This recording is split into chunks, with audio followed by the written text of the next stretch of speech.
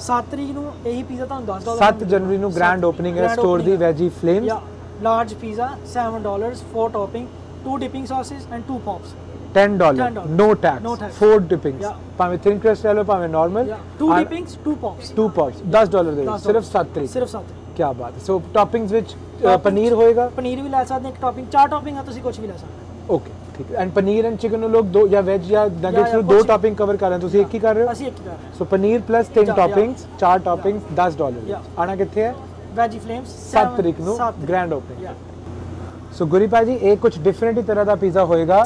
Pesto sauce ਵਿੱਚ nuggets sorry ਕਲਗਾ। ਕਲਗਾ। ਕਲਗਾ nuggets and pesto sauce and pizza. ਨਵੀਂ ਚੀਜ਼ ਮੇਰੇ ਲਈ ਵੀ ਲੋਕਾਂ ਲਈ ਵੀ ਸਾਰਿਆਂ ਲਈ। ਕੀ ਸੀਨ ਹੈ? ਸਰ ਦੇਖੋ ਹੁਣ ਇਹ ਨਗਟਸ ਆ ਗਏ ਆਪਣੇ।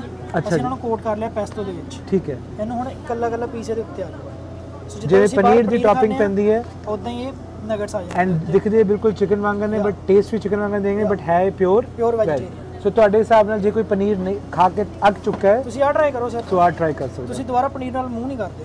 ਕੀ ਬਾਤ। ਸੋ ਇਹ ਵੈਸੇ ਰੈਗੂਲਰ ਪ੍ਰਾਈਸ ਕਿੰਨਾ ਹੈ ਤੇ ਡੀਲ ਵਾਲੇ ਦਿਨ ਕਿੰਨਾ ਸਰ ਜੇ ਹੋਏਗਾ? ਮੈਂ ਡੀਲ ਲਾਉਂਗਾ ਤਾਂ ਉਹ 4 ਟੌਪਿੰਗਸ ਦੀ ਡੀਲ ਆ। ਉਹਦੇ। ਵਿੱਚ ਤੁਹਾਨੂੰ 10 ਡਾਲਰ ਚ ਇਹ ਵੀ ਮਿਲ ਜਾਏਗਾ। ਜੇ ਤੁਸੀਂ ਲਓਗੇ।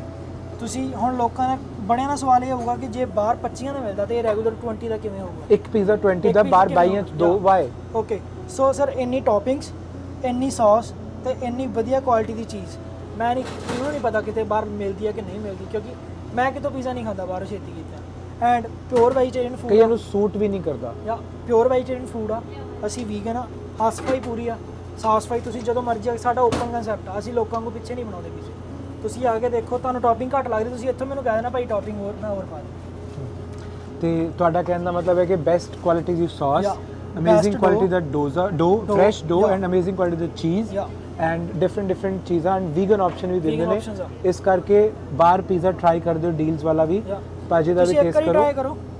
ਜੇ ਤੁਹਾਨੂੰ ਟੇਸਟ ਆ ਜਾਊਗਾ ਤਾਂ ਦੱਸਿਓ ਜੇ ਨਾ ਆਊਗਾ ਤਾਂ ਵੀ ਸੋ ਦੱਸਿਓ ਇਹਦੇ ਤੇ ਡੀਲ ਵੀ ਲਗਾ ਰਹੇ ਹਾਂ ਇੱਥੇ ਆਪਾਂ ਡੀਲ ਸਰ 7 ਤਰੀਕ ਨੂੰ ਡੀਲ ਹੈ ਇਹਦੇ ਉੱਤੇ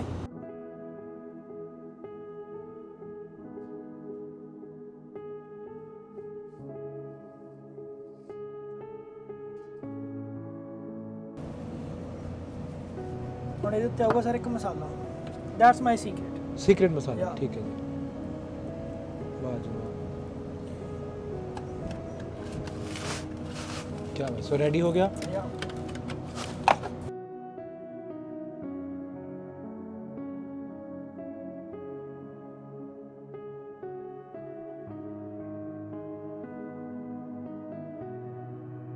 ਸੋ ਗੁਰੀ ਪੀਜ਼ਾ ਸਟ੍ਰੈਚ ਹੋ ਰਿਹਾ? ਹਾਂਜੀ। ਕੀ ਬਾਤ। ਇਹ ਤਾਂ ਰਾਸ ਕੋਈ ਦੱਸਦਾ ਨਹੀਂ ਹੁੰਦਾ ਆਪਣੇ ਰੈਸਟੋਰੈਂਟ ਦੇ? ਰਾਜ ਕੀ ਹੈ ਭਾਈ? ਸਾਰਿਆਂ ਨੂੰ ਤਾਂ ਆਉਂਦਾ।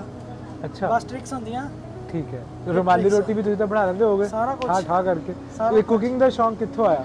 ਇਹ ਸਰ ਮੈਂ ਇੰਡੀਆ ਤੋਂ ਸਿੱਖਿਆ ਸੀ ਥੋੜਾ ਬਹੁਤਾ।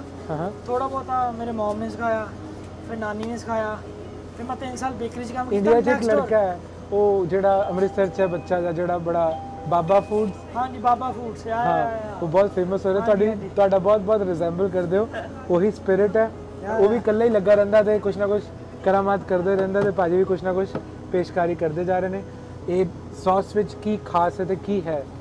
ਸਰ ਇਹ ਕੱਲੀ ਕੈਚਅਪ ਨਹੀਂ ਹੈ ਪਹਿਲੀ ਗੱਲ ਤੇ। ਇਹ 'ਚ। ਬਹੁਤ ਚੀਜ਼ਾਂ ਹੁੰਦੀਆਂ। ਐਂਡ ਇਹ ਜੋ ਬੈਸਟ ਬੈਸਟ ਟੂ ਬੈਸਟ ਮਿਲਦੀ ਨਾ ਮਾਰਕੀਟ 'ਚ ਮੈਂ ਉਹ ਯੂਜ਼ ਕਰ ਕੁਆਲਿਟੀ ਕੁਆਲਿਟੀ ਠੀਕ ਐਂਡ ਮੇਰੇ ਕੋਲ ਪਿੱਛੇ ਬਾਕਸਿਸ ਵੀ ਪਏ ਆ ਬੈਸਟ ਟੂ ਬੈਸਟ ਐਂਡ ਤੁਸੀਂ ਦੇਖੋਗੇ ਸੌਸ ਦੇ ਵਿੱਚ ਨਾ ਤੁਹਾਨੂੰ ਚੰਕਸ ਦਿਸਣਗੇ ਮੈਂ ਸਟ੍ਰੈਚ ਕਰਕੇ ਦੋਨਾਂ ਦੇਖੋ ਇਹ ਪਿਓਰ ਟੋਮੈਟੋ ਆ। ਸੋ ਆਪਣੇ ਕੋਲ ਬੇਸ ਵਿੱਚ ਕੁਝ ਹੋਰ ਵੀ ਹੈ ਕਿ ਸਿਰਫ ਟੋਮੈਟੋ ਤੁਸੀਂ ਕੁਝ ਵੀ ਲੈ ਸਕਦੇ ਹੋ। ਤੁਸੀਂ ਇਹਦੇ ਵਿੱਚ ਪੈਸਟੋ ਲੈ ਸਕਦੇ ਹੋ। ਠੀਕ ਹੈ। ਤੁਸੀਂ ਇਹਦੇ ਵਿੱਚ ਗਾਰਲਿਕ ਲੈ ਸਕਦੇ ਹੋ ਬੇਸ ਤੁਸੀਂ ਇਹਦੇ ਵਿੱਚ ਕੁਝ ਵੀ ਲੈ ਸਕਦੇ ਹੋ। ਠੀਕ ਹੈ। ਮੈਂ ਤੁਹਾਨੂੰ ਹਰ ਇੱਕ ਚੀਜ਼ ਦੇ ਦੂੰਗਾ। ਐਂਡ ਇਸ ਤੋਂ ਬਾਅਦ ਆ ਜਾਏਗੀ ਸਰ ਇਹਦੇ ਤੇ ਚੀਜ਼ ਸੋ ਇਹ ਬਣਾ ਕੀ ਰਹੇ ਆ? ਕਿਹੜਾ ਪੀਜ਼ਾ ਸਰ ਕੀ ਇਹ ਕਲਗਾ ਪੀਜ਼ਾ ਵਾ? ਕਿਹੜਾ? ਕਲਗਾ ਪੀਜ਼ਾ ਕਲਗਾ ਉੱਤੇ ਕਲਗਾ ਨਗਟਸ ਆਉਣਗੇ ਅਸੀਂ ਪਨੀਰ ਨੂੰ ਚੇਂਜ ਕਰਤਾ। ਕਲਗਾ ਨਗਟਸ ਤੇ। ਜਿਵੇਂ ਚਾਂਪ ਬਣ ਰਿਹਾ ਉਦਾਂ ਹੀ ਕਲਗਾ ਕਲਗਾ ਨਗਟਸ ਤੁਸੀਂ ਖਾ ਕੇ ਦੇਖੋ ਇੱਕ ਵਾਰੀ। ਕਲਗਾ ਨਗਟਸ ਨੂੰ ਅਸੀਂ ਕਵਰ ਕਰਾਂਗੇ ਪੈਸਟੋ ਦੇ ਵਿੱਚ। ਅੱਛਾ ਜੀ। ਉਹ ਵੀ ਤੁਹਾਨੂੰ ਮੈਂ ਕਰਕੇ ਦਿਖਾਉਂਗਾ। ਸੋ ਇੱਕ ਬੜਾ ਹੀ ਭਾਜੀ ਬੜੇ ਹੀ ਉਹ ਨੇ ਟੈਕਨੀਕਲ ਜੇ ਨੇ। ਕੁਛ ਨਾ ਕੁਛ ਕਰਾਮਾਤ ਕਰੀ ਜਾ ਰਹੇ ਨੇ ਚੀਜ਼ਾਂ ਨੂੰ ਰਿਪਲੇਸ ਕਰੀ ਜਾ ਰਹੇ ਨੇ। ਨਵਾਂ ਸਵਾਦ ਡਿਵੈਲਪ ਕਰਨ ਦੀ ਕੋਸ਼ਿਸ਼ ਕਰ ਰਹੇ ਨੇ।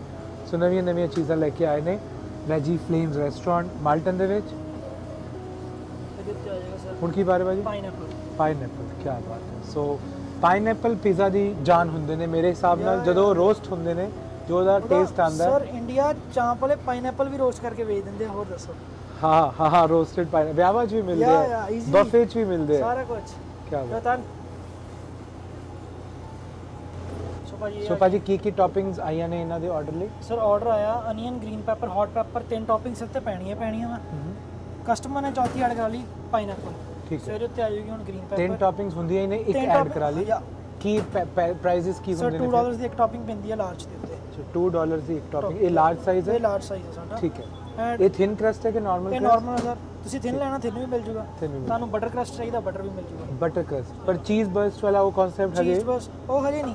ਉਹ ਹਜੇ ਇੱਥੇ ਕਰੋ ਕੁਝ ਭਾਜੀ ਇੱਥੇ ਹੈ ਨਹੀਂ। ਸਰ ਉਹ ਵੀ ਕਰ ਦੂੰਗਾ ਮੈਂ ਉਹਦਾ ਕੋਈ ਰੌਲਾ ਨਹੀਂ ਹੈ। ਬਟ ਇਹ ਹੈ ਕਿ ਥੋੜਾ ਜਿਹਾ ਲੋਕੀ ਨਾ ਇੱਥੇ ਹੈਲਥ ਕੌਨਸ਼ੀਅਸ ਜ਼ਿਆਦਾ ਯੂਜ਼ ਟੂ ਨਹੀਂ ਹੈਗੇ ਇਦਾਂ ਦੇ ਹੈਗੇ ਕਿਉਂਕਿ ਇੰਡੀਆ ਦੇ ਜੋ ਮਰਜ਼ੀ ਖਵਾਈ ਜਾਓ ਕਸਟਮਰਸ ਨੂੰ। ਐਂਡ ਇੱਥੇ ਥੋੜਾ ਡੀਲਸ ਦਾ ਵੀ ਰੌਲਾ ਜ਼ਿਆਦਾ ਹੈ। ਫਿਰ ਉਹ ਡੀਲਸ ਵਾਰਾ ਵੀ ਨਹੀਂ ਖਾਂਦੇ ਏਡੇ Yeah. ਹੈਵੀ ਪੀਜ਼ਾਸ ਸੋ ਤੇ ਅਨੀਅਨਸ ਗ੍ਰੀਨ ਪੈਪਰਸ ਪਾਈਨਐਪਲ ਤੇ। ਚੌਥੀ? Hot peppers hot peppers and ਪੰਜਵੀਂ ਦਾ ਫਿਰ ਰਾਜ ਹੀ ਹੈ ਨਾ ਫਿਰ। ਪੰਜਵੀਂ ਰਾਜ ਵੀ ਹੈ? ਇਹ ਤਾਂ ਕੀ ਬਾਤ ਹੈ। ਸੋ ਸਾਰੇ ਟੌਪਿੰਗਸ ਪਈ ਜਾ ਰਹੇ ਨੇ। ਐਂਡ ਸੋ ਇਹਦਾ ਭਾਜੀ ਪ੍ਰਾਈਸ ਕੀ ਹੋਏਗਾ? ਸਰ ਇਹ ਤੁਹਾਨੂੰ ਪਊਗਾ ਲਾਰਜ ਪੀਜ਼ਾ ਜੇ ਤੁਸੀਂ ਆਏ 7 ਤਰੀਕ ਨੂੰ ਤਾਂ 10 ਡਾਲਰ 7 ਤਰੀਕ ਨੂੰ ਇਹੀ ਪੀਜ਼ਾ 10 ਡਾਲਰ ਦਾ ਦੇ ਰਹੇ ਹੋ ਕੀ ਤਾਂ ਉਦਾਂ ਇਹ 20 ਡਾਲਰ ਦਾ ਪੀਜ਼ਾ ਵਾ। ਅੱਛਾ ਤੁਸੀਂ ਜੀ। 10 ਨੂੰ ਆਏ 7 ਨੂੰ ਆਏ ਤਾਂ ਤੁਹਾਨੂੰ ਸਮਝ ਆ ਜਾਣਾ। ਭਾਜੀ ਮੇਰਾ ਸਵਾਲ ਹੈ ਬਾਹਰ ਡੀਲਸ ਚੱਲਦੀਆਂ ਨੇ 20 20 25 25 ਡਾਲਰ ਚ ਦੋ ਪੀਜ਼ੇ ਤੁਸੀਂ ਇੱਕ ਦੇ ਰਹੇ ਹੋ ਨਾਰਮਲ ਵਿੱਚ ਚਲੋ ਫੋਰਗੇਟ ਅਬਾਊਟ ਦ 7th ਜਾਂ ਕਿਵੇਂ ਕਿਵੇਂ ਸਰਵਾਈਵ ਕਰੂਗਾ ਪੀਜ਼ਾ ਭਾਜੀ ਪੀਜ਼ੇ ਉੱਤੇ ਕੁਝ ਨਹੀਂ ਹੈਗਾ। ਸਿਰਫ ਇੱਕ ਆਰਟ ਹੈ ਇੱਕ। ਇਸ ਚੀਜ਼ ਨੂੰ ਦਿਖਾਉਣ ਦੀ ਲੋਕਾਂ ਦਾ ਟੇਸਟ ਪਹੁੰਚਾਓ। ਲੋਕੀ ਖੁਦ ਬ ਖੁਦ ਪੇ ਪਰ ਕਰਨਗੇ ਮੇਰਾ ਸਵਾਲ ਇਹ ਹੈ ਕਿ ਇਸ ਟੇਸਟ ਦੇ ਵਿੱਚ ਤੇ ਜਿਹੜੇ ਡੀਲਸ ਹੈ ਉਹਦੇ ਵਿੱਚ ਕੀ ਫ਼ਰਕ ਹੋਊਗਾ? ਸਰ ਡੀਐਸ ਚ ਇਹ ਟੇਸਟ ਵਿੱਚ ਕੋਈ ਫ਼ਰਕ ਨਹੀਂ ਹੁੰਦਾ। ਮੈਂ ਕੋਈ ਫ਼ਰਕ ਨਹੀਂ ਰੱਖਦਾ। ਜੋ ਪੀਜ਼ਾ ਅੱਜ ਮਿਲੂਗਾ ਇੰਨੀਆਂ ਟੌਪਿੰਗਸ ਇੰਨੀ ਉੱਤੇ ਬਸ ਇਹ ਹੈ ਕਿ ਲੋਕਾਂ ਤੱਕ ਇੱਕ ਵਾਰੀ ਟੇਸਟ ਪਹੁੰਚਾਉਣਾ।